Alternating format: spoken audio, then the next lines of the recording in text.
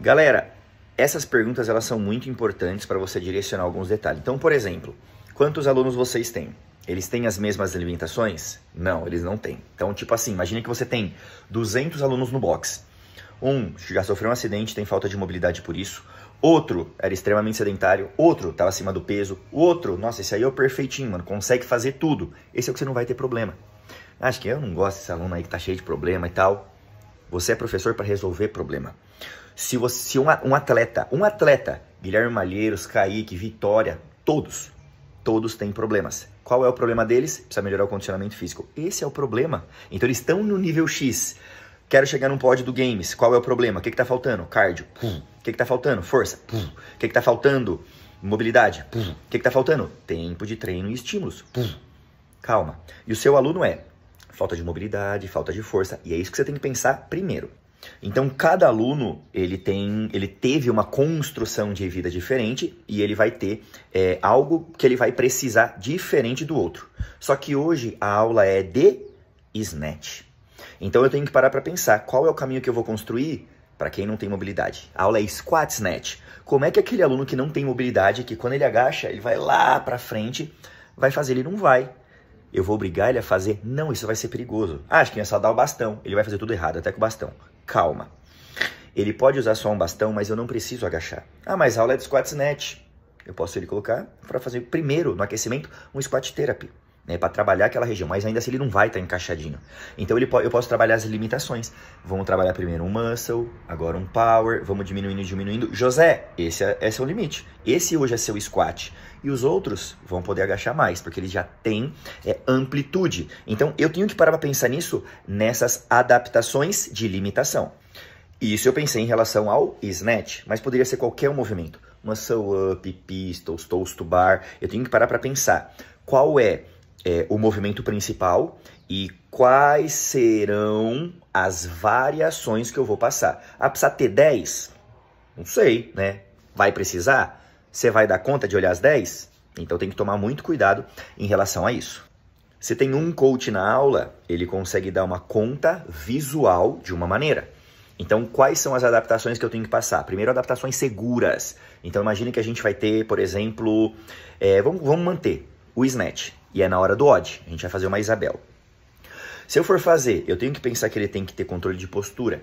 Para ele controlar a postura e ser de uma maneira é, segura, eu vou ter que precisar adaptar o peso. Então imagina que eu dou, por exemplo, três opções de carga. Primeira carga, 95 libras, 135 libras, que é oficial. É, segunda carga, 85 e 1, e 125. Terceira carga, é 75 e 115. Eu dei opções. Se o coach vê que essas opções não vai encaixar para aquele aluno, adapta mais. Então tem aluno que pode fazer só com a barra, ou às vezes sem barra. E qual é o problema? Só que não é porque eu não, não está escrito no quadro que eu não posso adaptar, ou eu vou ter que ter 50 adaptações ali. Então o coach, ele é uma ferramenta muito, muito, muito, muito importante para estar tá direcionando a aula. Aí vem a outra pergunta. Quantos coaches tem na aula? Só tem um ele tem uma limitação. Ah, tem dois. Eu já trabalhei. Ah, tem quatro coaches. Tudo tem um preço, galera, mas tudo também depende o quanto que você quer investir, né, em, em relação a isso. E aí a visão ela amplia, mas não é porque tem quatro coaches que vai ter 50 adaptações. Eu tenho que parar para pensar qual é o meu objetivo. A adaptação ela tem um objetivo coordenativo. A adaptação ela tem um objetivo de fortalecimento. A adaptação tem um, um objetivo de quê? Você tem que parar para pensar nisso. Senão você simplesmente coloca uma adaptação, passa lá, tá, tá, tá, aí já era. Não. Então pare e pensa qual é o seu objetivo.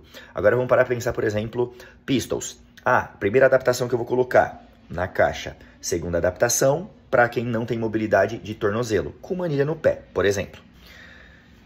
Todo mundo vai conseguir. Todo mundo vai conseguir. Eu posso na caixa, é a caixa, né? Mas ainda assim eu tenho adaptações aqui de altura então tem pessoas que não vão conseguir agachar muito e tem pessoas que estão tá quase chegando na paralela. Eu tenho caixa, eu tenho step. Eu posso aumentar a altura desse step. Eu tenho anilhas. Eu tenho caixa de 30, 40, 50, 60, 70 centímetros. 70, acho que a pessoa está de pé, se ela for muito alta. Então você pode parar para pensar em relação a isso. E quem de repente vai fazer o movimento e só tira o calcanhar do chão? Eu só coloco ali uma anilha, vamos dizer assim.